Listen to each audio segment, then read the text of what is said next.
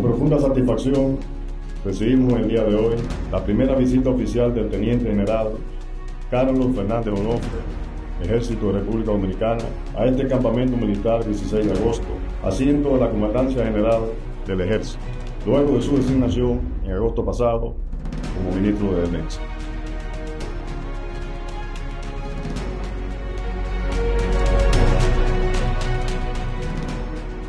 Su merecida designación frente al Ministerio de Defensa apuntada el reconocimiento del excelentísimo señor presidente constitucional de la República, licenciado Luis Rodolfo Abinader Corona, Autoridad Suprema de las Fuerzas Armadas y de la Policía Nacional, a su incuestionable hoja de servicio y a su bien ganado prestigio profesional.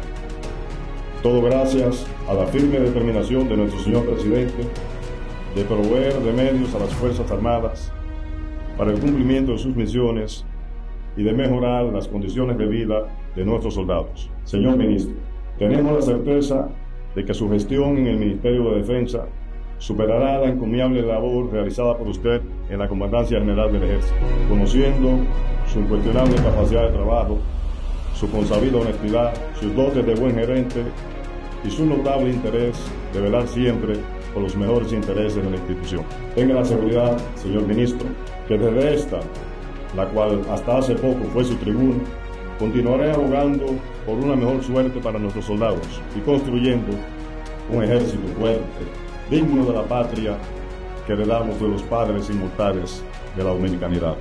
Aquí, frente a nuestras tropas, frente a este, su ejército, renovamos el juramento solemne de mantenernos con inquebrantable voluntad como celosos guardianes de la soberanía nacional. Lo recibimos en esta, su casa, con un grito creciente que desde ya, como trueno, redobla en el corazón y alma de nuestros soldados. La necesidad de mantenerse siempre firmes. Firmes ante los retos y desafíos que tenemos por delante, en la espera certera de que bajo su sabia dirección nuestras Fuerzas Armadas continuarán fortaleciéndose con estricto apego y respeto a la institucionalidad. ¡Viva la República Dominicana! ¡Viva! ¡Viva las Fuerzas Armadas!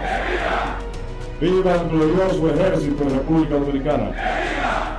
En el Ejército de República Dominicana...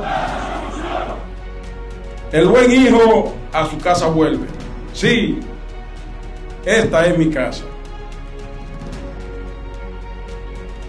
Junto al comandante general del ejército, mayor general Camilo Pérez, ejército de República Dominicana, continuaremos de la mano dando seguimiento al fortalecimiento de nuestra gloriosa institución y construyendo junto a todos ustedes el ejército que la República Dominicana se merece y del que todos los dominicanos se sientan orgullosos.